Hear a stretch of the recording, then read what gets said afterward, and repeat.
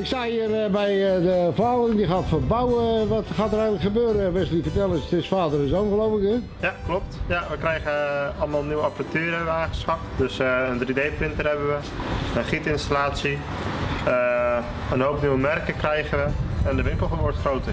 Winkel groter. Ja, vertel eens. Wat ga je doen in de winkel? Ja, we gaan de winkel eh, gaan we naar achteren openbreken en we gaan hem, eh, zeg maar het ambacht wat we normaal altijd in het atelier hadden, gaan we dus zichtbaar maken. Door...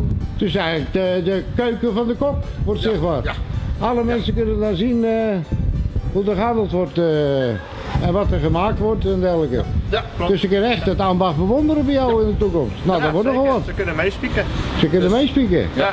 En kunnen ze goed kijken wat er gaat gebeuren of Ja, iets. eh? Ze kunnen het oude ambacht zien en het nieuwe ambacht, zeg maar. Nou, dat is Ja. natuurlijk wel fantastisch. Ja. En vooral in deze Je tijd. hebt het niet helemaal Je kunnen het vinden in de winkel. Nee, ik heb een speciaal eh, iets in mijn hoofd. Ik heb eh, een eh, figuurtje voor hier, dat ben ik, heb ik overal in. Ja. En ik heb hout van eh, eh, driehoekjes. Oké, En dan wou ik eigenlijk een, een beetje driehoekjes wil, een ring en dan een soort tekentje erin als dat kan. dat kan. Ja, Ja. ja dan kunnen we dat combineren. Dat kunnen we dan maken. Dus dan hebben we eigenlijk zo de ring de bovenkant. De onderkant loopt die door in een dunne scheen. En dan hebben we Dat hier is een dunne scheen. de onderkant van de ring. Oh, is dat heet Ja. een dunne scheen? Ja. En dan hier zo dat vormpje in. Ja. Dus dan hebben we de driehoek. En toch dat het lekker draagt. Ja. En in het geel goud dan, hè? Ja, gewoon normaal goud. Ja. Oké, dan gaan we dat uittekenen op de computer en dan kunnen we dat allemaal En eh, weer gaat aanpassen. u dat openmaken of... eh, Ja, dit ga ik eruit halen, ja. Gaat het open, ja. Ja. Oké.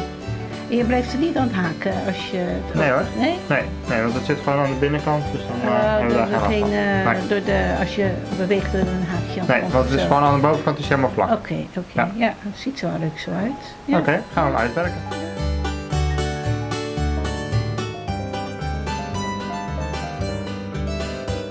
Eh, daar zijn we weer, hè? En ik heb dus eh, de schets heb ik uitgewerkt op de, op de computer nu. Ja. Dus dan heb je ook gelijk het idee eh, hoe het eruit ziet, hè?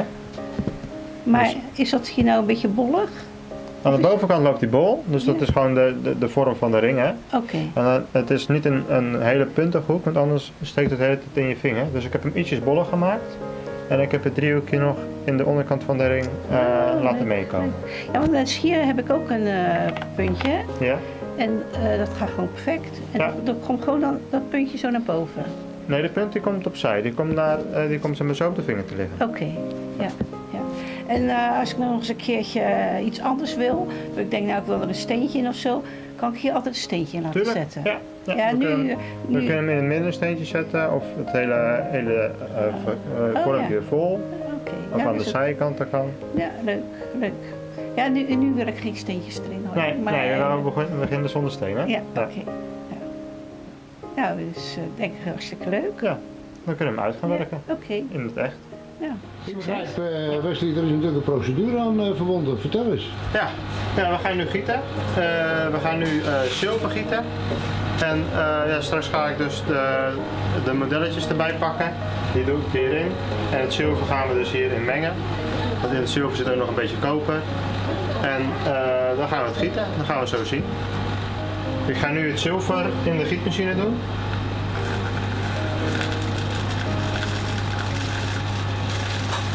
Dat luistert nogal nauwkeurig natuurlijk. Ja, op een eh, duizendste van een gram gaat het eh, nauwkeurig.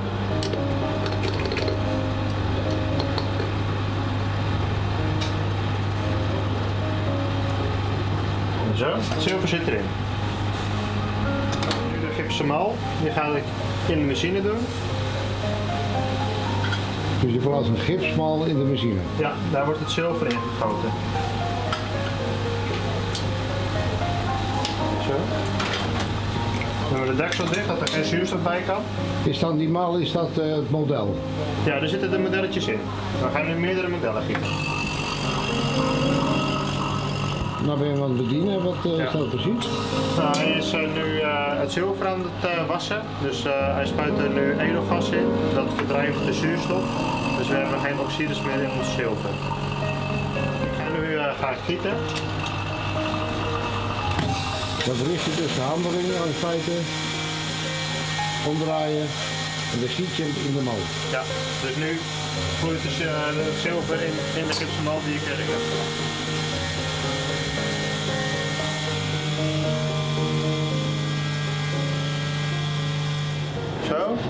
het zilver zit erin, dan gaan we nu afnetten. Dan breekt het gips los en dan kunnen we straks de modelletjes eruit halen.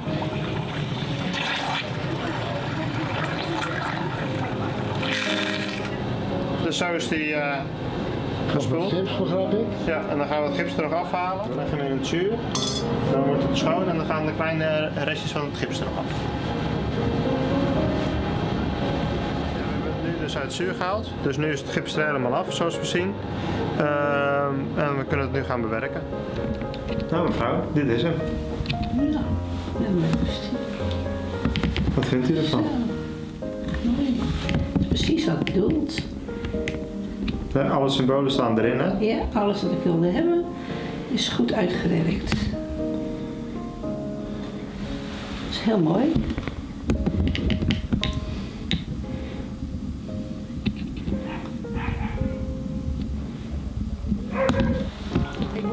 De uitverkoop gaat beginnen. Ja, klopt. En wanneer gaan we open? We gaan 12 november gaan we open. En vanaf oktober hebben we het uitverkoop. Vanaf oktober de uitverkoop. Ja, En dan eh, moeten de mensen maar gauw komen kijken in november, hè? ja zeker weten. Wordt, een, eh, wordt een spektakel.